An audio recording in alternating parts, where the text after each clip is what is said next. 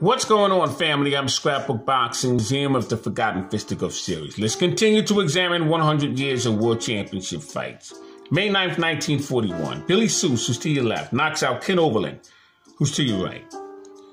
And Ken Overlin will become middleweight champion of the world when he defeated Ceferino Garcia. But he would go 15 rounds with Billy Soose. He would come up short. New York's Madison Square Garden and Billy Soose would become the new middleweight champion of the world. Now, who was Billy Soose? He was born August 2nd, 1915, in Farrell, Pennsylvania. He died September 5th, 1998. He was 83 years of age at the time of his death, and he would reside in Farrell, Pennsylvania. Now, I met Billy Soose. He fought from 1938 to 1942.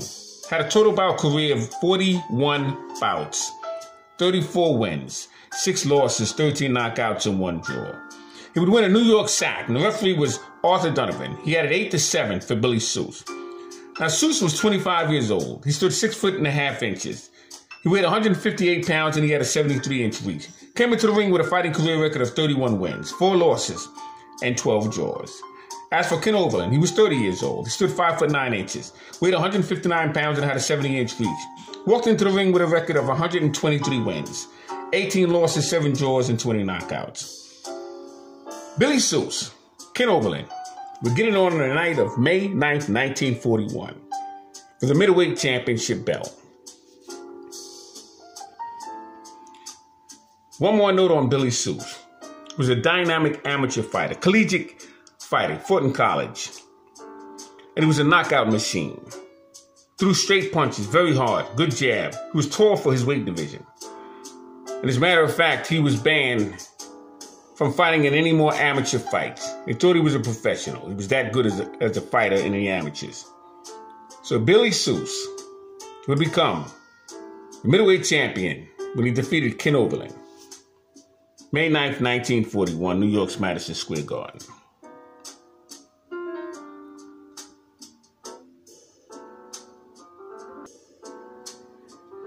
May 12th, 1941, Joey Archibald defeats Harry Jeffra, 15 rounds, Washington, D.C. He will remain the bantamweight champion of the world. May 22nd, 1941, Gus Lesnevich, who was to your left, defeats Anton Christoforidis to your right. 15 rounds, New York's Madison Square Garden to win the NBA light heavyweight championship belt. The referee was Frank Foreman. He had 11,676 spectators in the crowd. Now, who was Gus Lesnevich? He was born February 22nd, 1915 in Cliffside Park, New Jersey. He died February 28th, 1964. He was 49 years of age at the time of his death, and he would reside in Cliffside Park. He stood 5 foot 9 inches. He was a middleweight and light heavyweight.